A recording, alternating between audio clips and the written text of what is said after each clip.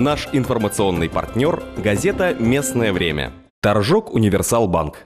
Кредиты бизнесу на выгодных условиях. Это телеканал «Тверь». Сегодня в студии Кирилл Амеев. Здравствуйте. Нынче был с самого утра чудный день.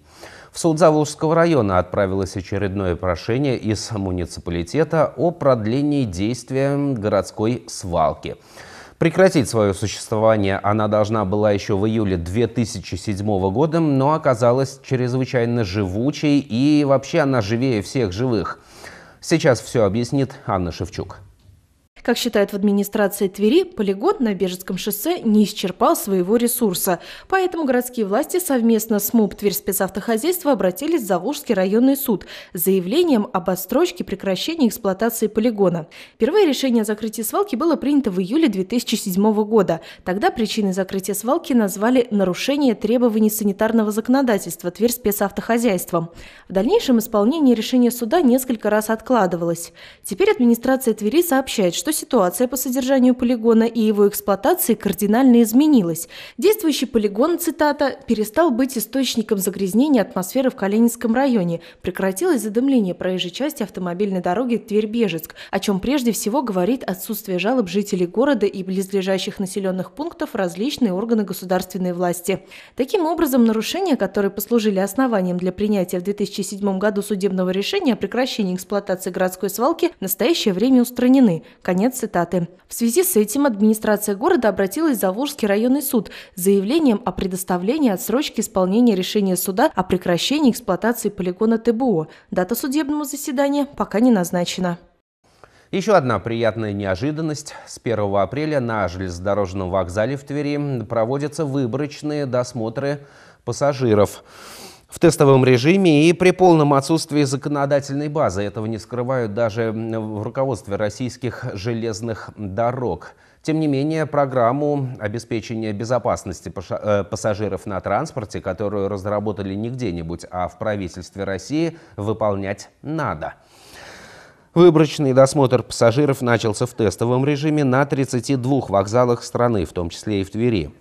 Осуществляют его сотрудники РЖД на основании временной инструкции руководством РЖД и разработанной. В э, железнодорожных вокзалов акционерного общества, кстати, тревогу по поводу отсутствия законодательной базы бьют уже давно.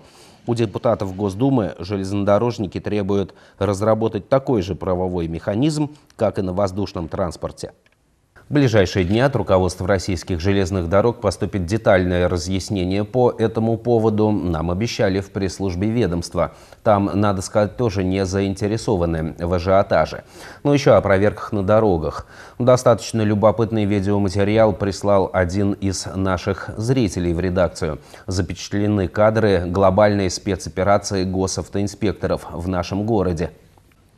Дело происходит поздним вечером в пятницу. Видеокамера мобильного телефона зафиксировала действия дорожных полицейских на Октябрьском проспекте.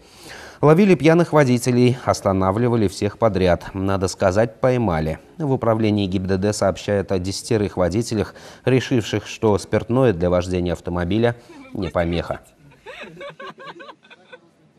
Этот видеоматериал наш телезритель сопроводил весьма интересным комментарием. Вот что было сказано. Ну, недословно, конечно же. Попасть вечером в пятницу в автомобильную пробку – это то еще счастье. Но, тем не менее, потерпим, ибо поступают они правильно. Вот так и никак иначе. Тем временем у нас единый Социальный проездной билет стал стоить 240 рублей с этого дня. Еще вчера он стоил 64. Но это было в прошлой жизни. О том, что будет в этой жизни, Елена Глушкова. 64 рубля. Такова была стоимость единого проездного билета для населения Тверской области с 2005 года и до вчерашнего дня. Увеличить цену проездного прорывались не раз, однако кроме повышения общей стоимости билета до 390 рублей два года назад ничего не добились. К слову, в других регионах общая стоимость составляет 500-800 рублей. Хорошо то, что э, вот это повышение, оно как бы в лето уходит. Ну, понятно, что пользователи этого проездного билета э, люди преклонного возраста, дачный период деревня, дачи, поездки по районам. А, это 240 рублей не та сумма, которую могут потратить фактически платя за билет, за проезд в пригородном транспорте. Но наступит зима и итоги, думаю, будут плачевные. Надеемся, что правительство Тверской области примет в течение года и какое-нибудь решение, касающееся повышения и общей стоимости единого социального проездного билета. В результате заниженной стоимости ЕСПБ убытки терпят транспортные предприятия региона, которые по сути бесплатно возят граждан. Ведь общая стоимость билета не увеличилась, а горюче-смазочные материалы дорожают день ото дня. Поэтому 240 рублей за проездной билет отнюдь не означает повышение качества транспортного обслуживания. Федеральный закон, который установил э, отмену льгот и монетизацию, 122 федеральный закон, он прямо говорит, что э, в регионах должны быть приняты меры, которые эффективно решить реализацию льгот ветеранов, э, ну, льготной категории граждан.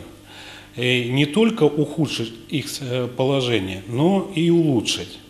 А ситуация, когда стоимость единого социального проездного билета для граждан повышается, при этом не изменяется, не увеличивается ни маршрутная сеть, то есть не, не увеличивается объем услуг, предоставляемых а, транспортными предприятиями, индивидуальными предпринимателями, то э, как-то неправильно. Слову, даже при четырехкратном увеличении цены на СПБ она остается одной из самых низких ЦФО. По предварительным подсчетам, для того, чтобы перевозчики не несли убытков, общая стоимость проездного билета должна быть не менее 600 рублей, одну часть из которых оплатит население, а другую бюджет.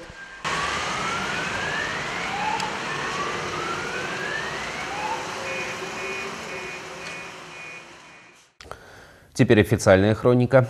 Сразу после паводка, который, напомню, ждут у нас в первой декаде апреля, начнутся лесные пожары. В этой связи зампред правительства России Аркадий Дворкович накануне провел селекторное совещание с главами российских регионов. Синоптики радуют нас и беспокоят чиновников теплым летом. Для нас лесные пожары актуальны, горим регулярно. Впрочем, отмечается в сообщении пресс-службы правительства региона, за последние два года количество лесных пожаров сократилось в 7 раз.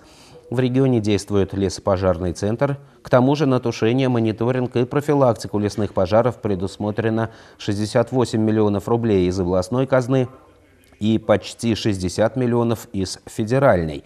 При возникновении чрезвычайной ситуации одновременно могут быть привлечены почти 2600 человек и свыше 770 единиц техники. С воздуха ситуацию будут отслеживать силы авиаразведки, а также аппараты-беспилотники. Предполагается задействовать системы спутникового и видеомониторинга. Серьезное внимание будет традиционно уделено и торфяникам, коих у нас в области чрезвычайно много. О чрезвычайных ситуациях шла речь накануне и во время заседания комиссии по антитеррору. Вот что сказал губернатор. Главы муниципалитетов должны уделить особое внимание надлежащей работе системы оповещения действиям всех служб в условиях ЧС и ликвидации последствий стихии и провести дополнительную разъяснительную работу с населением о правильном поведении в чрезвычайных ситуациях. Еще Андрей Шевелев подчеркнул, что в последнее время, как э, по области, так и в целом, и в, муниципаль... Э, в муниципалитетах приняты конкретные меры по организации развитию единой дежурно-диспетчерской службы. Это является первым шагом к созданию государственной системы обеспечения вызова экстренных оперативных служб по единому номеру 112 телефонные звонки от населения в адрес отделений милиции, служб скорой помощи, подразделений МЧС, коммунальных организаций, а также обработка информации, оповещения в случае ЧС будут осуществляться централизованно, что позволит более оперативно реагировать на возникновение непредвиденных ситуаций. Нынче же глава региона встретился с руководителями э, Удомельского района и города Удомля. Такие встречи традиционные и позволяют не только говорить о существующих э, проблемах, но и находить пути их решения, подчеркивается в пресс-релизе, который нынче размещен на официальном сайте правительства региона.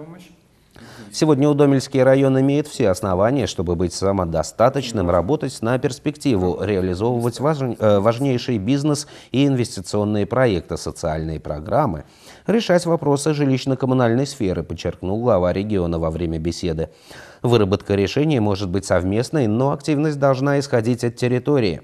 Руководители Удомельского района доложили губернатору о проведенном анализе ситуации в муниципалитете и выработанных антикризисных мерах, направленных в первую очередь на ликвидацию финансовых долгов, снятие социальной напряженности и выстраивание эффективной бюджетной политики.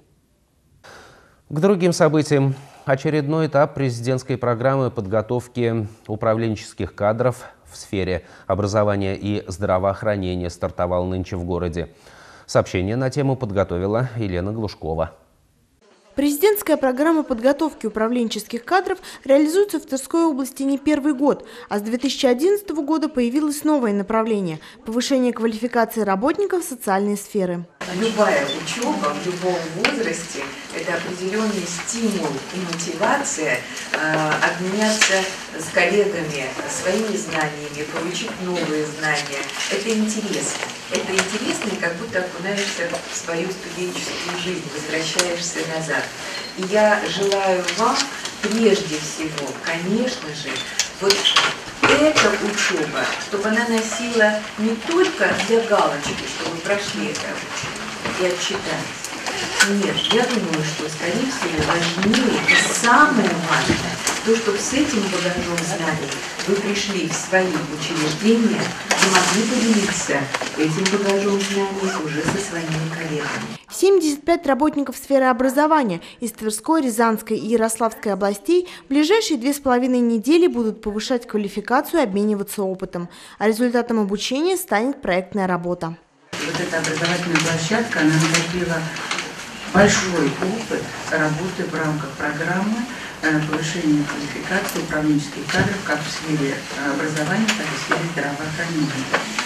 Э, уже прошло два потока сферы образования и два потока э, здравоохранения. К нашей чести наши проекты представлены достойно. И э, на встрече с министром Медведевым из 22 слушателей этой программы четверо, те, которые занимались проектными работами на базе нашей площадки. Появление такого направления в нашей области не случайно. На сотрудников образования возложена ответственная задача, а повышение квалификации может стать хорошим основанием для увеличения заработной платы работникам бюджетной сферы. Компания МТС представила тверским журналистам новые телеком-новинки. Ну, теперь, например, можно отправить смс для того, чтобы выключить забытый работающий утюг или оплатить бензин посредством мобильного телефона. Катерина Рыжова побывала на специальной пресс-конференции на эту тему и уверяет, что все это на самом деле – в этом году МТС отмечает свое 20-летие. За эти годы спектр услуг и сервисов, которые компания предлагает, далеко ушел от обычной голосовой связи не только голос, но и мобильная передача данных, мобильный интернет является всего лишь основой э, тех сервисов и тех услуг, которые мы стремимся предлагать нашим клиентам. На встрече с клиентами и прессой специалисты МТС рассказали о самых новых и интересных решениях и сервисах. Например, о сим-картах, способных работать при экстремально высоких и низких температурах, или об особенности технологии M2M. Что такое M2M? Да, это уже не люди разговаривают между собой, а машины машин-то-машин. Это технология, при которой взаимодействие осуществляется непосредственно между самими приборами. Это может быть бытовая техника, это может быть э, какие-то специальные устройства. Именно на технологии M2M основаны сервисы, обеспечивающие возможность удаленного мониторинга транспортных средств. Они уже широко применяются в Верхневолжье. Почти 80% э, транспорта муниципального э, пользуются сим-картами МТС. Это школьные автобусы, это система мониторинга ГИБДД, это патрульные машины УВД, это э, совместно с нашими коллегами э, проекты по скорой помощи, электронные кардиографы, мониторинг, соответственно, непосредственно авто, авто, автотранспорта. Представители компании подробно рассказали о том, как в режиме реального времени происходит отслеживание транспорта. Как сервисы МТС позволяют экономить расход топлива и даже каким образом с помощью современных NFC-технологий водитель может заплатить за бензин с мобильного телефона. По сути своей теперь достаточно подъехать к колонке, прислонить телефон и произвести просто оплату топлива. Ну, что операторы сделают у себя уже на терминале непосредственно, а, введет там непосредственное количество литров, при необходимости будет запрошен пин-код, после этого произойдет авторизация и произойдет оплата топлива. Все. МТМ-сервисы применимы не только в сфере транспортных перевозок. Они способны преобразить даже быт в отдельно взятой квартире. У каждого из нас, опять-таки же, возвращаясь есть свой дом, забыл я выключить утюг. Ну, пусть это будет мой утюг. Я тут же набрал себе необходимый код на телефоне и, и поговорил со своей розеткой. Послал смс на розетку, где, собственно говоря, выключил этот утюг. Услуги, которые предлагает своим клиентам МТС, нашли широкое применение в тверских компаниях. У нас э, очень плотно идет сотрудничество с компанией МТС, и это уже не первый год. Мы сотрудничаем. Качество связи нас вполне устраивает, и что голосовой, что передачи данных. Есть некоторые моменты, которые нас заинтересовали более плотно. Это вот именно я уже говорил, что это мобильный сотрудник, э, очень интересный такой сервис, услуга. И также навигация. Навигация – это спутниковый мониторинг э, непосредственно как транспорта, так и э, это, кстати, удаленный офис. На специальных мастер-классах все те, кто также готов начать использовать инновационные сервисы компании МТС, получили возможность подробно узнать о конкретных услугах и ближе познакомиться с новыми технологиями. Сообщение о культуре. Выставка современного искусства открылась в Петербургской галерее «Ткачи». Выставка неоднозначная, там представлены работы 25 художников, и некоторые картины были раскритикованы потому, как оскорбляют чувства верующих и вообще антирелигиозны. Организатор выставки Марат Гельман говорит, что ее открытие было отложено из-за негативной огласки. Ожидается, что на этот раз выставка привлечет тысячи посетителей. На базе нашумевшей выставки Гельман планирует создать музей. Новость о возвращении выставки иконы в Петербург была встречена неоднозначно. Жители города на Неве в первую очередь опасаются новой мобилизации общественных организаций, собиравших подписи против выставки в прошлый раз. Некоторые в шутку отмечают, что менее чем в километре от креативного пространства Ткачи находится казачий Крестовоздвиженский собор, что обещает веселое открытие выставки. Именно казаками именовали себя активисты, которые требовали отменить показ спектакля «Лолита», жаловались на выставку братьев Чепман в Эрмитаже и угрожали музею Набокова. Есть среди питерцев и те, кто считает настойчивое желание провести выставку в Петербурге сознательной провокацией со стороны Марата Гельмана, выставки которого якобы направлены на углубление раскола в. Э, в обществе и создание условий для новой смуты.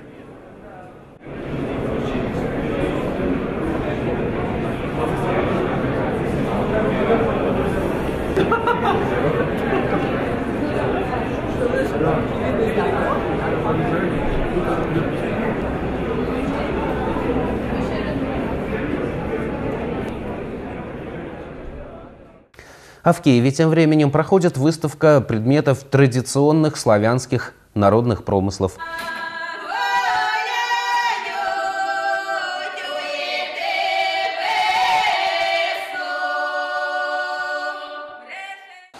Церемония открытия выставки состоялась в выставочном зале «Хлебная». Представлены работы украинской художницы Ирины Билай и учеников студии «Соломея».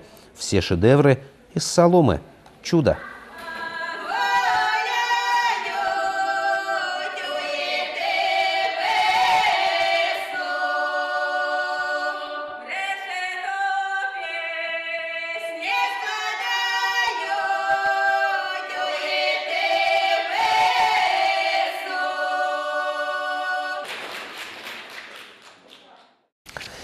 В завершении программы, как выяснилось, не одни мы сходим с ума от затянувшейся зимы. Вот всемирная интернет-паутина попол... э, пополнилась видеоотчетом нескольких поляков о преследовании поезда на лыжах. Без комментариев, но под музыку.